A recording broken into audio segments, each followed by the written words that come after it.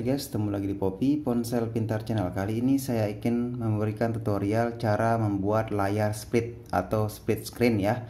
Nah, bagi kalian yang ingin uh, membuat atau membuka dua aplikasi dalam waktu yang bersamaan tanpa harus mengclose uh, aplikasi lain, kalian bisa mengikuti tutorial ini sampai selesai agar kalian mengetahui langkah-langkah yang saya akan jelaskan.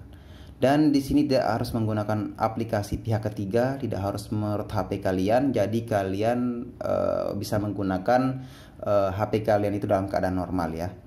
Nah, pertama kalinya kalian subscribe terlebih dahulu channel ini dan jangan lupa klik lonceng untuk mendapatkan notifikasi video terbaru menarik unik dari ponsel pintar.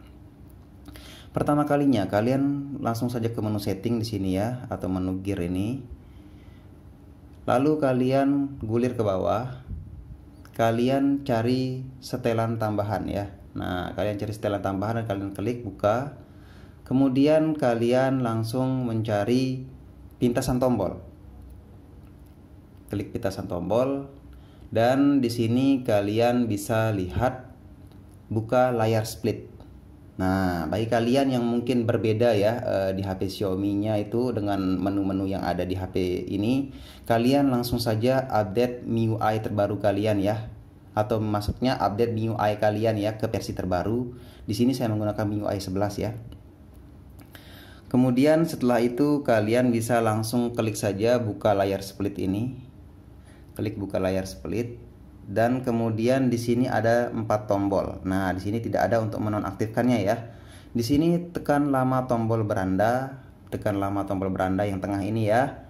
Tekan lama tombol menu, tekan lama tombol menu ini ya. Yang sebelah kiri ini yang kotak ini, tekan lama tombol kembali atau tekan lama tombol kembali. Kalian bisa menggunakan tiga ini untuk mengaktifkan uh, split screen di HP Xiaomi kalian. Nah, dan ini tanpa aplikasi, oke, okay? tanpa aplikasi pihak ketiga, tanpa root HP kalian. Kemudian saya akan menggunakan tekan tombol lama di menu. Jadi ini adalah eh, apa namanya rekomendasi dari HP Xiaomi-nya langsung. Kemudian kita akan mencobanya. Pertama kalinya saya akan membuka YouTube untuk mencoba. Oke, ini YouTube ya. Dan kemudian saya akan membuka aplikasi lainnya lagi. Pastikan ini eh, apa namanya dua ya agar kita mengetahui HP ini bisa split atau tidak ya. Nah, saya akan membuka WhatsApp satunya ya. Ya, seperti itu. Kemudian kita akan split screen. Kalian bisa lihat di sana ada layar split. Kalian bisa menggunakan secara manual seperti ini atau kalian bisa menggunakan langsung tekan uh, ini tombol menu ini. Tekan lama ya. Tekan lama tahan gitu ya. Oke, seperti ini. Oke. Nah, jadi kita akan buka langsung uh, aplikasi satu aplikasi saja pertama ya. Kemudian kita langsung tekan lama di tombol menu.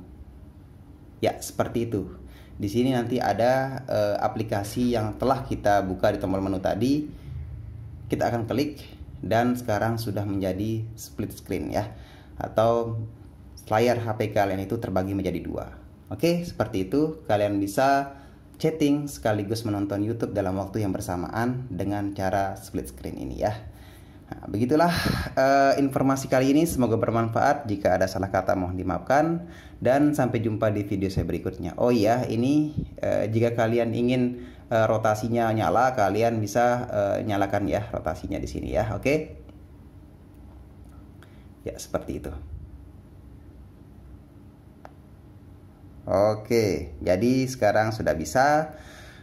Jangan lupa like, comment, dan share, kemudian uh, subscribe juga ya dan klik loncengnya agar saya lebih semangat lagi membuat tutorial seperti ini. Semoga bermanfaat dan sampai jumpa di video berikutnya. Dadah.